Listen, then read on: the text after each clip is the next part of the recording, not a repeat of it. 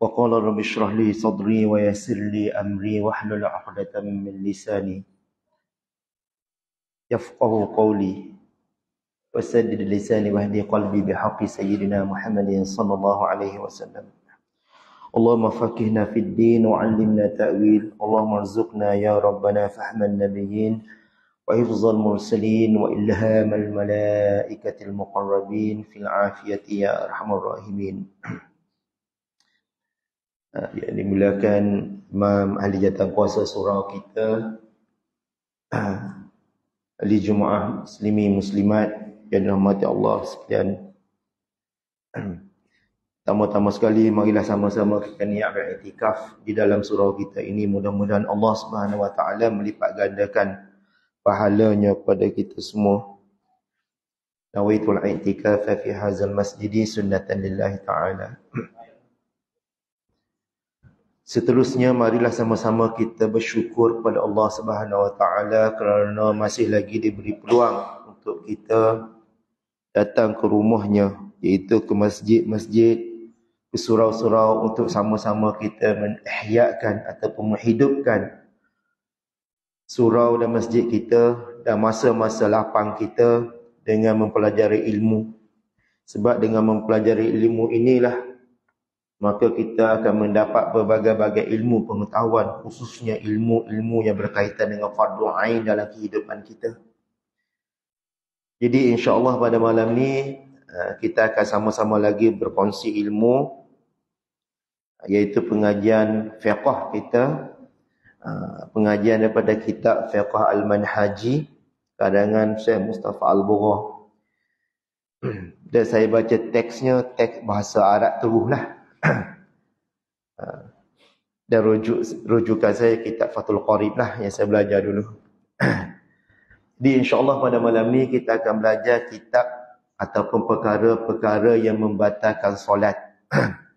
Dan sebenarnya pembelajaran kita pada malam ni ialah hanyalah ulang kaji daripada pembelajaran kita semasa di sekolah-sekolah dulu. Ataupun boleh jadi kita pernah belajar di pondok-pondok, di surau-surau. Ataupun pernah belajar sebelum ni. Jadi dengan kita mengulang kaji pelajaran kita pada malam ni mudah-mudahan ibadat kita lebih sempurna di sisi Allah Subhanahu Wa Taala. Jadi sebagaimana kita maklum ilmu fiqh ni ialah ilmu yang diijtihadkan oleh para ulama untuk tolong kita beribadat dengan sempurna. Sebab kalau kita nak kalau kita nak reka cipta ilmu fiqah sendiri, maka berbagai-bagai ilmu lah, maka dan berbagai-bagai teknik solat lah yang akan berlaku di kalangan kita. Ya, kalau kita belajar sendirilah, kita tak nak ikut mazhab syafi'i, kita tak nak ikut mazhab maliki, maka kita ikut hadis dan Al-Quran sahaja, tanpa ada ilmu, maka kita akan sembahyang berbeza-beza. Ha, ada yang sembahyang baca kunuk sebelum rokok, ada yang semayang baca kunuk selepas rokok. Ada yang semayang tak baca kunuk. Ada ha, berbagai-bagai lah kaedah-kaedah yang dipahami oleh imam-imam mazhab kita. Jadi ilmu fiqh ni adalah ilmu ijtihad di kalangan ahli-ahli fiqh untuk tolong kita beramal dengan sempurna untuk memahami teks hadis, Al-Quran, ijma' dan kias. Jadi sebagaimana ha, kita pernah dengar hadis Nabi, Nabi kata sallu kama raaitumuni usalli. Ha, sembahyanglah kamu semua sebagaimana kamu lihat aku sembahyang. Nasib baik Nabi tak kata sallu kama usalli. Ha, kalau Nabi kata macam tu, terberoklah kita nak sembahyang. Tak, ada ada beza tu. Ada sudut bahasa ada beza. Nabi kata sembahyanglah kamu sebagaimana kamu lihat aku sembahyang. Apa hukum keluar daripada hadis tu ialah ha, sembahyang ni adalah ibadah, ibadah zahiriyah. Ha, zahiriyah. Ha. Ada pun batiniah sebagaimana Nabi buat susah kita nak dapat. Ha, sebab itulah ulama-ulama tasawuf dan kita pun pernah sebut sebelum ni bab rukun solat dia meletakkan rukun yang apa ni rukun yang Seberikutnya ialah khusyuk. Kalau mereka tak khusyuk, automatik batal solat mereka. Mereka takbir balik Allah Akbar. Solat tadi tak khusyuk.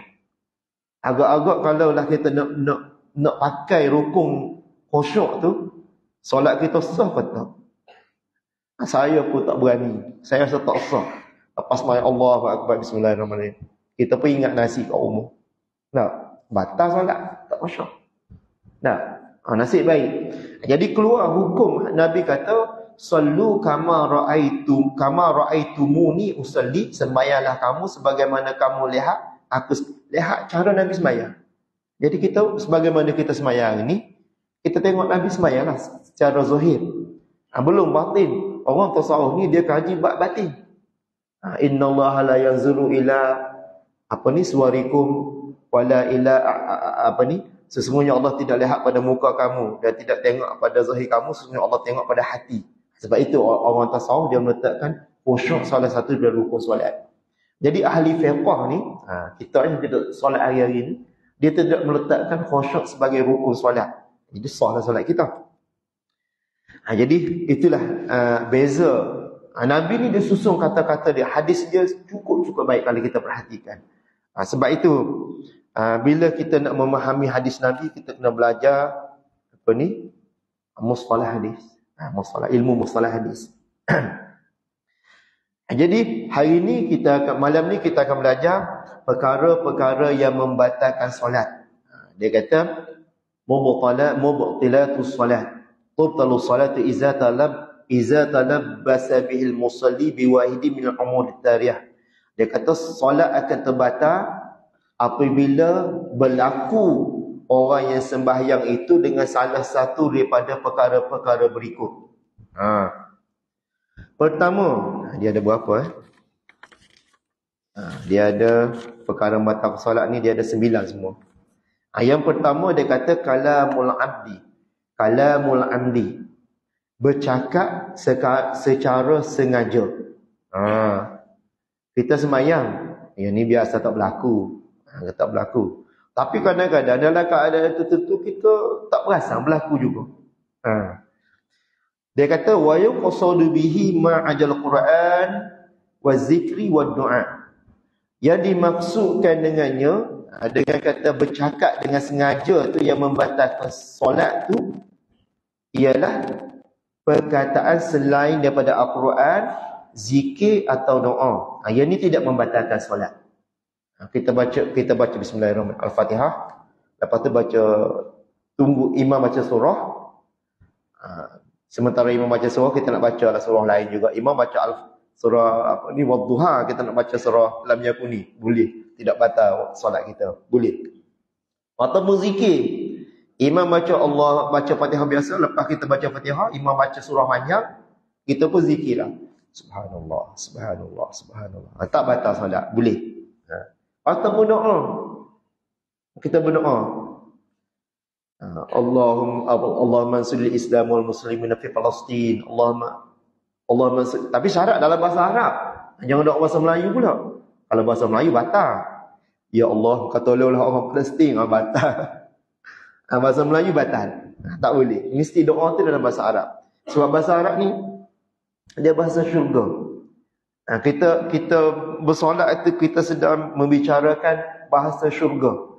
Jadi Allah bagi dalam bahasa Arab itu mulianya bahasa Arab. Ha, kita berdoa dalam bahasa Arab. Tapi syarat doa jangan dalam bentuk khitab. Ha, khitab ni maksudnya ada perkataan ka. Ha, contohnya sebelah kita ada ada kawan kita bersing. Rok, pung bersing menyepong. Kita pun yarhamukallah. Batal solat kita. Bunyikan dalam bahasa Melayu semoga Allah rahmat kamu. Adakah semoga engkau dirahmat Allah? Ada kamu lah maksudnya. Seolah kita bercakap dengan dia. Batal. Tak boleh. Ha, tapi kalau kita doa yarhamuhullah. Semoga Allah rahmat dia. Tak apa. Tapi kalau engkau batal. Ha, dia beza tu. Engkau dengan dia. Ha, sebab itu uh, kalau kita nak berdoa pun kena pandai juga. Semasa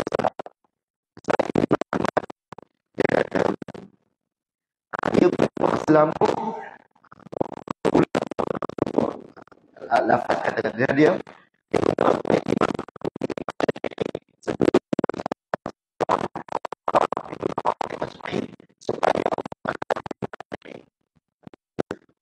paling baik kita berdoa sebelum kita bagi salam. Tak. Ha, sebelum bagi salam tu kita ya kita ada hadis Nabi kan tak? Apa ni? Ha, jauh daripada dajjal apa semua kan daripada fitnah dunia apa semua. Ha, so, doanya kita baca kita sebut lupa. Jadi boleh ha, kita doa yang tu. Yang membatalkan solat yang pertama ialah bercakap dengan sengaja. Ha. Kecuali baca Quran, zikir ataupun doa. Karena ada hadis Nabi kata kunna. Ha. Pada awal-awal Nabi ajar solat pada sahabat Nabi. Ada riwayat Imam Bukhari dan Muslim. Dia sebut dia hadis daripada Zaid bin Arqam radhiyallahu anhu. Dia kata kunna natakallamu fi solat. Ha. Ada seorang sahabat Nabi dia kata pernah satu ketika kami bercakap-cakap dalam solat yukallimu ahaduna akhahu fi hajatihi. Yang ketika kami solat, kami bercakap dengan saudara kami ketika mula-mula mula-mula di fardu solat. Jadi sahabat bercakaplah. Ha, macam mana nak pergi mana gitu soalan gitulah. Hajat dia ni. Hatta nazalat hazil ayah sehingga turunlah ayat ni. Maka bila sahabat berlaku uh, apa ni percakapan antara dua sahabat Maka turunlah ayat. Sebab turun ayat hafizu ala salati wa salati wusta wa qumu lillahi qanitin. Ayat dia turun. Surah Al-Baqarah. Lepas tu Nabi kata, Qa'umin Nabi sukut. Lepas dia turun ayat ni, Nabi perintah kepada kami supaya duduk diam. Sukut ni diam. Masa solat jangan bercakap. Cakap batal. Ha. Itu timbul hukum batal kalau kita bercakap benda yang tak berkaitan dengan solat. Dan hadis riwayat Muslim lagi Ha, pendek je lah saya baca. Hadis ni baca panjang. Wa qad syamata atisan fi salat fi salati. Qala lahu ada seorang sahabat Nabi uh,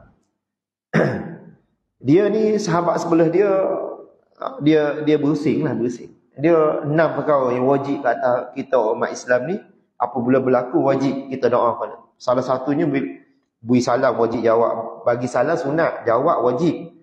Bersih. Ha, sahabat kita bersih sebelah kita. Wajib kita doakan. Ya Rahmukallah. Jadi sahabat ni. Bila ketika solat dia pun. Jawablah. Doalah. Ya Rahmukallah. Bunyi kaf. Katakan. Semoga Allah merahmati kamu. Nah, Nabi lagan. Inna hazihi salatu la yasru fiha sya'u min kalamin nas. Inna ma huwa tasbih wa takbir wa qiraatul Quran. Nabi kata sembahyang ni tak layak ada padanya perkataan perkataan manusia. Bila sebut ka yarhamukallah moga Allah apa ni rahmat kamu ada ka aja tak boleh. Ha. Itu sebab apa ni bila kita doa tak boleh ada perkataan ka dalam solat. Ha. Lepas tu dia kata wa adal kalamu allazi tubtalu fi shalah ma kana mu'allafan min harfain fasaidan. Ha, dan dikira perkataan yang membatalkan solat apabila perkataan tersusung pada perkataan kita cakap tu ada dua huruf fasaidan ataupun lebih. Wa illam yufham minhu makna sekalipun tidak difahami daripadanya perkat makna dia. Ha, contohnya kita apa ni? Uh, kita tanah Nuh. Tanah Nuh ni apa? Dia ada tanah Nuh ni kita masa kita berok, kita kencing nak berdehem-dehem, ah berdehem-dehem. Ah, tak boleh tu masa solat. Ha, kalau terlampau kecuali kita terlampau sangat-sangat. Kohok banyak sangat baru kita boleh buat. Itu pun kita buat sekadar itu jangan dua perkataan dua dua boleh aja dua perkataan batal solat. Itu kena jaga tu. Masa kita berok tak apalah sunat. Masa masa masa solat batal. Itu kena jaga. Wa illam yufham minhu makna sekali pun tidak dipahami makna. Ha, tapi syarat dua huruf. Au kan ya'abbaru min bahrfin wahidin idza kana lahu makna. Ataupun satu perkataan sahaja tapi boleh faham makna dia. Ha, contohnya kita sebut kita baca bismillahirrahmanirrahim. Qi kita sebut ki je. Batal solat. Sebab bahasa Arab ada makna. Ki ni maksud. Daripada yaqa. Yaqa yaqiqi. Ki ni makna jagalah. Ha, ki. Macam nu al-wiqayah tu kan. Kita sebut khairanil wasiyati. Dia panggil nu al-wiqayah. Belajar tajwid. Ki ni maksudnya jaga. Ataupun i. Ini maksudnya sedarlah. Kalau tidur, i. Ha. Kalau bahasa Kelantan, gi. Gi itu pergilah. Tak, batal solat. Kalau ada maksud, walaupun satu perkataan. Ha, tapi kalau dua perkataan, kita sebut, ha, tak ada maksud pun batal solat kita. Ataupun fi. Ha, fi ni wafat bahasa Arab ni. Ni, ni contoh bagi perkataan Arab semua ni. Bahasa Melayu memang sah batal lah. Sebab bahasa-bahasa ni dia sangat penting. Kita menjaga dalam solat kita. Sebab dia ni boleh dia panggil inhiraf. Inhiraf ni dalam fiqh ni maksudnya dia memalingkan kita pada Allah. Memalingkan kita pada Allah. Kita sebut benda ni menyebabkan putus hubungan kita dengan Allah. Maka batallah solat. Sebab itulah Imam Syafi'i ni kalau kita tengok dia ni semua ilmu dia pakar. Imam Syafi'i. Ha, ada riwayat menyebut Imam Syafi'i ni dia mengajar bidang ilmu yang berbagai, yang pelbagai, ha, mati ilmu. Sebab itu Imam Syafi'i pernah diwayatkan suatu ketika ha, dia pernah belajar ilmu bahasa. Satu kumpulan ulama-ulama bahasa semua mengilingi dia. Semua ulama-ulama bahasa. Dia ajar semua bahasa. Ba'nahu, sora, mantik, ilmu ma'ani, bayat, balaghah, semua ilmu-ilmu bahasa. Ha, lepas satu ketika, habis golongan bahasa, golongan fiqh pula, ilmu fiqh. Ha, semua ulama-ulama fiqh mengelinga dia. Dia ajar ilmu fiqh. Semua ilmu fiqh. Mengikut mazhab dia. Ha, lepas golongan ilmu fiqh, ha, ilmu ilmu apa pula? Ha, macam-macam ilmu, ilmu tafsir, Imam Syafi'i. Semua ulama-ulama tafsir belajar. Itu hebat Imam Syafi'i imam mazhab kita. Sangat hebat. Sebab itu orang yang tak membaca manaqib ataupun apa ni, biografi dia memang orang memperkecilkan Imam Syafi'i. Siapa yang membaca memang kita ni tidak ada apa-apa pun dari sudut ilmu. Tidak ada apa-apa. Ha, hebat ilmu apa ni? Ilmu Asy-Syafi'i.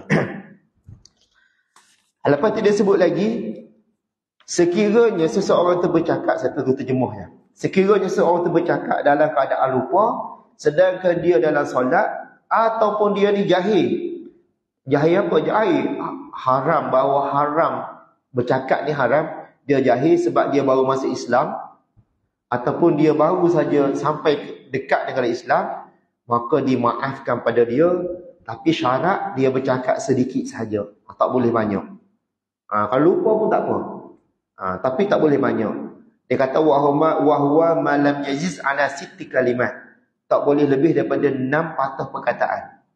Contohnya kita sedang semayang. Kita sedang semayang kat rumah. Bismillahirrahmanirrahim. Tiba-tiba, kita ingat kita duk masak nasi kat dapur. Tak? Ha, kita duk, duk, apa ni, duk goreng ikan. Kita tinggal. Ha, kita lupa dah kita semayang. Kita bagi tahu anak dia. Ali, pergi tengok dapur. Ali pergi tengok dapur. Baru empat. Empat patah perkataan. Tiba-tiba kita ingat. Eh, solat tak batal sebab kita lupa tak batal ha. dia hukum ni terjadi sebab pernah berlaku pada suatu ketika Nabi ni ketika dia disihir ha. dia apa nama ni ha. hadis ni ada yang terkenal lah sebenarnya benda yang berlaku pada Nabi ni dia ada hukum syariat dia ha. Nabi ni dia semayang zuhur ketika tu dia semayang zuhur, tak silap saya, dia semayang dua rakaat. Jadi pada sahabat ni, dia nak lepas dua rakaat, Nabi terus bagi salam. Nabi kata as-salatu subhi. Ha. As-salatu subhi, saya lupa lafaz hadis ni. Tapi sahabat tanya dia, "Wahai Rasulullah, adakah kamu sembahyang subuh?" Uh, sahabat Nabi usul Nabi bercakap tak lebih daripada enam patah. Lepas tu Nabi naik bangun, dia sambung, dia sambung balik solat dia dua rakaat. Lepas tu dia sujud sahwi. Maksudnya kalau kita lupa tak boleh lebih daripada enam patah perkataan. Kalau lebih, tak kita semayang oh, pergi akak lah basuh-basuh huyuk, basuh pinggang pun semua kali tak. Lebih enam, enam patah tak. Batal lah solat kita. Kena takbir balik lah. Ha. Ha, jadi semua semua apa yang berlaku ni ahli-ahli fiqh dia ambil hadis-hadis Nabi. Dan seterusnya untuk masuk isu. Ha, dua Ha, yang kedua perkara yang membatalkan solat yang kedua ialah al-fi'lul kathir. Saya baca ni, saya langkah-langkah ni. Kalau baca semua dia banyak sangat ni. Perbahasan dia banyak. Apa ni kitab Fiqh Haji. Kalau saya baca kitab ni lagi banyak. Jadi saya ambil yang penting-pentingnya. Yang kedua ialah perbuatan yang banyak. Wal maksud bihi al-fi'lul mukhalif lil af'ali salah. Nah, maksud dengan dia dengan banyak perbuatan yang banyak ni ialah perbuatan yang menyalahi bagi perbuatan solat. Nah, kalau perbuatan solat tak apa. Ha, sebab itu dalam sebuah kitab fiqh dulu ha, saya pernah baca kitab, saya lupa. Dia tulis kalau seorang itu takbir, ha, takbir Allahu Akbar. Tangan dah bergerak kira satu dua, kepala satu batal solat dia kata. Ha. Dia tak dia tak rupa-rupanya dia tersilap. Tersilap tulis. Sebenarnya perbuatan solat dimaksud perbuatan solat termasuk perbuatan sunat. Angkat tangan sunat. Allahu Akbar. Maksudnya kepala dia je lah. Allahu Akbar. Ya. Ke, kepala. Sebab itu kena berhati-hatilah kepala kita tu masa takbir. Setengah orang dia angkat kepala, tak, dia angkat tangan, Allah. Oh, dah satu, dua. Dua kali pergerakan. Sebab tu kepala diam je. Sahabat bila dia semayang, burung dia hinggap atas kepala. Sebab burung anggap itu tunggu kayu. Ha, hebat pada sahabat solat ni. Ha, jadi, nanti sebuah kitab saya pernah baca kitab ni, dia, tak tahulah. Bila saya tanya ustaz saya, dia kata sebenarnya salah ni. Dia kira pergerakan sunat pun kira pergerakan yang tak pergerakan sunat dia tidak membatalkan solat. Angkat tangan sunat tu, angkat tangan tak ada sunat. dia kata bisyatin ayyuksidu wa tawali wa yatawali. Ha, dengan syarat pergerakan yang banyak tu ialah satu banyak, yang kedua berturut-turut. Ha, berturut-turut. Li'annahu yatanafi fi ma'ani dhammi solat. Ha, sebab apa? kalau berturut-turut tu dia boleh me, apa ni? Dia boleh menyalahi peraturan solat ha, sebab nabi tak buat berturut-turut ni tak buat. Apa dhabit? Dhabit ni maksudnya maksud banyak tu dia kata wadhabitul kasrati salah satu harakat. Ha, ketetapan banyak dalam kitab fiqh syafi'i ialah tiga kali bergerak asaidan ataupun lebih ha, anggota besar tak anggota yang besar. Tangan, anggota, ta, ya anggota besar ni tangan. Tak. Tangan ni, tangan ni, kepala, semua anggota besar. Kalau lidah kecil, lidah anggota kecil. Mata anggota kecil. Ha, kalau kita menggaru, tak? Ha, menggaru, itu kena berhati-hati.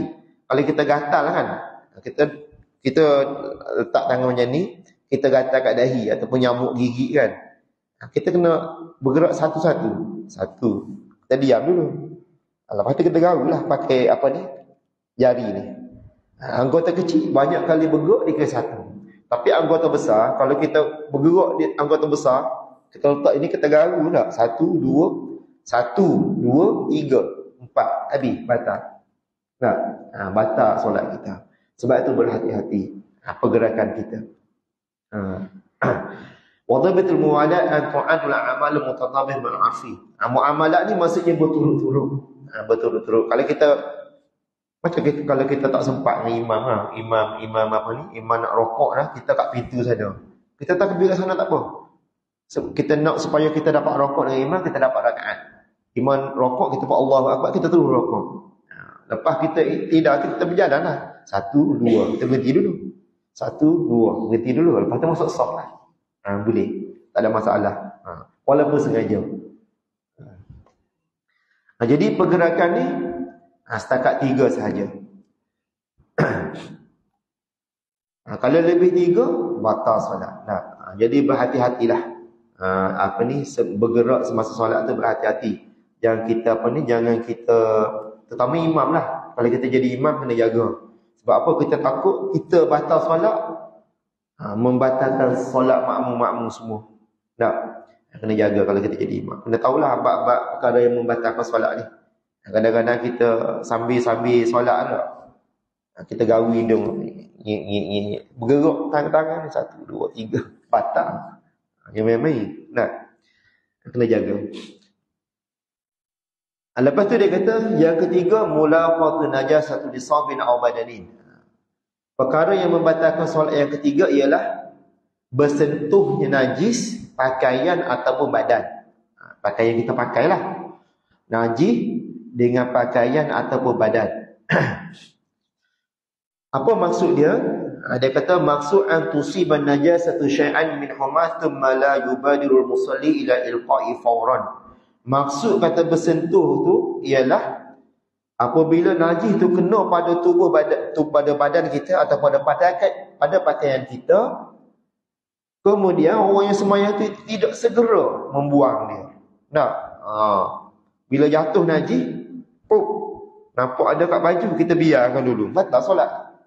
Ha, kalau kita boleh kuih dia, kuih lah pakai tangan. Kuih, buang lah. Ha, tak cicak, tak cicak kering. Ha. Tapi syarat najis tu kena kering. Kalau najis basah tak jadi, tak cicak yang baru juga. Puk, kena baju kita, batal. Ha, tak cicak kering tak apa. Kalau yang basah, sampai baju kita basah ataupun kulit kita basah, ah, batal solat kita. Batal lah. Pergi basuh dulu, solat balik. Tak apa. Pahala insyaAllah Allah bagi. Sebab kita jaga hukum-hukum syariat ni. Pahala sama insyaAllah dapat. Jadi dia kata, kalau kita tidak segera uh, buat najis tu, fa'inda izin tubtilu solat. Maka ketika itu membatalkan solat. Li'annahu hadasun. Kerana dia ni adalah najis yang menafikan najis ha, yang apa ni menghalang syarat daripada syarat-syarat solat ha, tak boleh apa syarat syarat apa ni uh, syarat uh, syarat wajib solat ialah taharatul badan wasabi minan najasah itu wajib bersih badan ataupun najis daripada uh, wajib bersih badan dan pakaian daripada najis. Dia bagi contoh. Sekiranya fa in asabathu najasatu bi ilqa'i rih aw nahwi wa tamakkana min ilqa'i anhu fawran bi an kanat yabisah lam tabtu salatuh. Kalau seseorang tu ha, dia sedang sembahyang, ha, tiba-tiba dia sembahyang ha, bawah pokok lah. Ya, ataupun dalam surau ke ha, tiba-tiba datang angin angin bawa taik sicak kalau bawah pokok taik burung taik burung burung gagak kering tu kan tak ha, kena atas baju dia Ha, tapi dia segera buat. Dia segera kuih. Tak kuih ke ataupun dia tiup. Ha, dia tiup. Jatuh najis tu. Ha, tak batal. Tapi kalau dia tengok, dia biar je. Terus batal solatnya. Ya. Sebab dia dah ada usaha untuk buang najis tu. Ha, dia kena segera. Ha, segera. Macam terbuka aurat pun sama juga. Ha, bila terbuka, kita kena terus. Apa ni? Terus tutup. Ha, tapi kalau kita biarkan, ha, dia batal solat. Itu yang ketiga. Yang keempat, perkara yang membatalkan solat ialah inkisafu syai'in minal aurat. Inkisafu syai'in minal aurat maksudnya terbuka, terdedah sedikit daripada aurat. Ha, terbuka aurat kita. Aurat kita ni ketika solat daripada pusat sampai lutut. Nah, ha, yang perempuan suhu badan lah.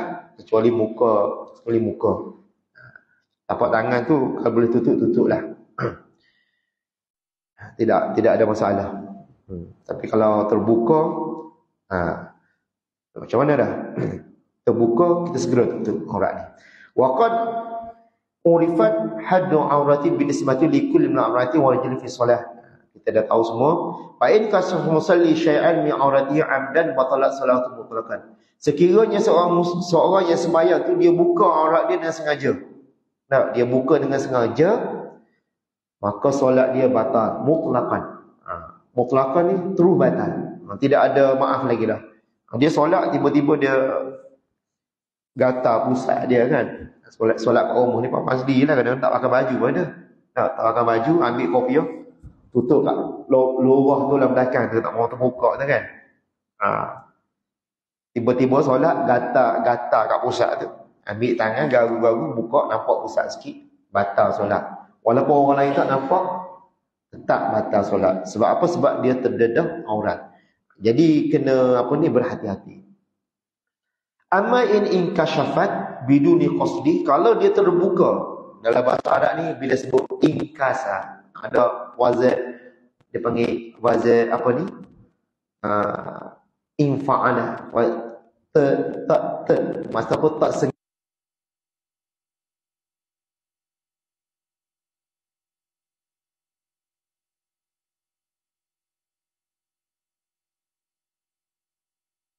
Beza sikit.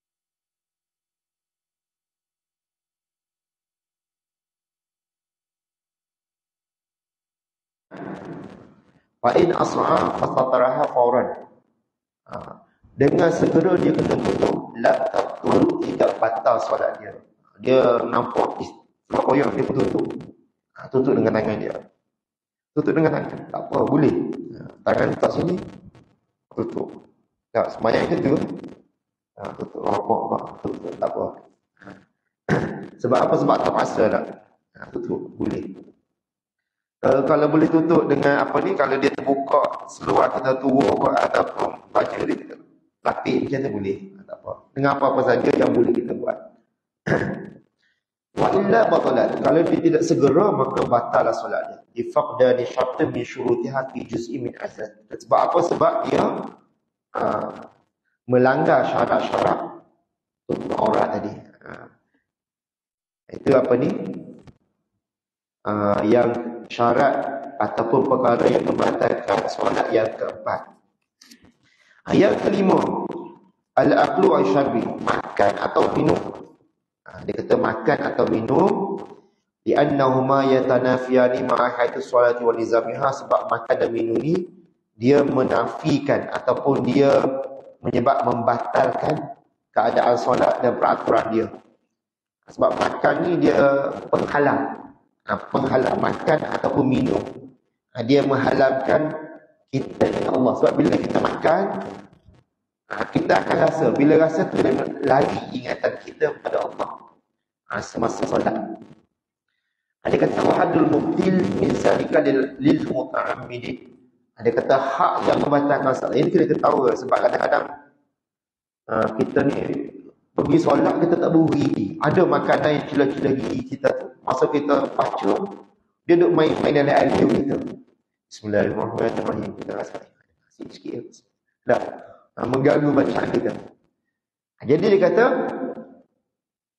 Wa abdul mutil bizalika lil muta'addid lil muta'ammid. Perkara yang membatalkan solat itu tidak bagi orang yang sengaja. Orang yang sengaja makan ataupun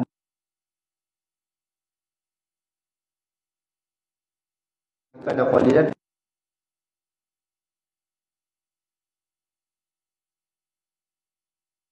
Orang yang tidak sengaja.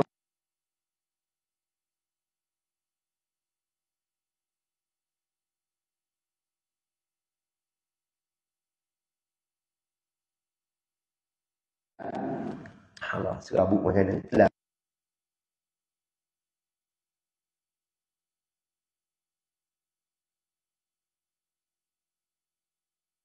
Pada ahli fiqh ni, waqad qadara fuqaha dia kata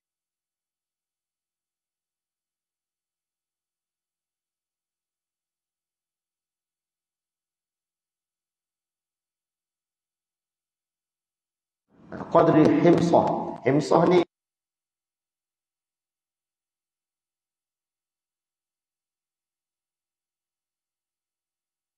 kalau kita tertelan sebiji nasi itu tak batal.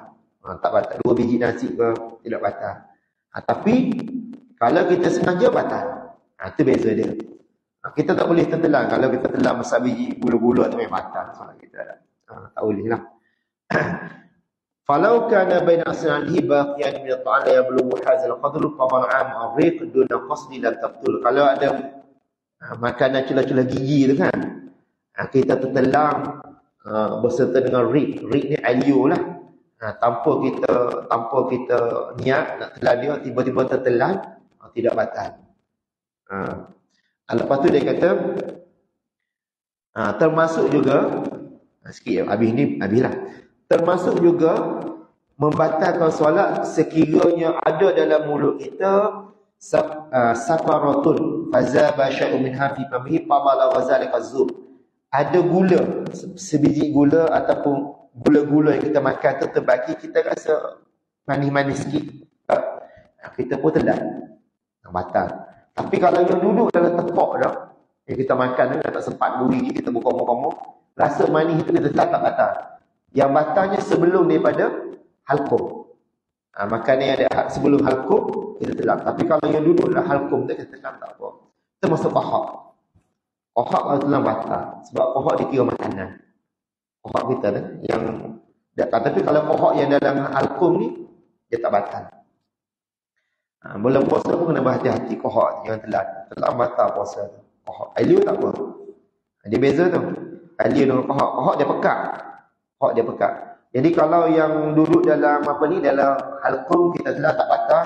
Kalau sebelum halkum, sebelum halkum kita tak batal. Solat ataupun puasa sama saja.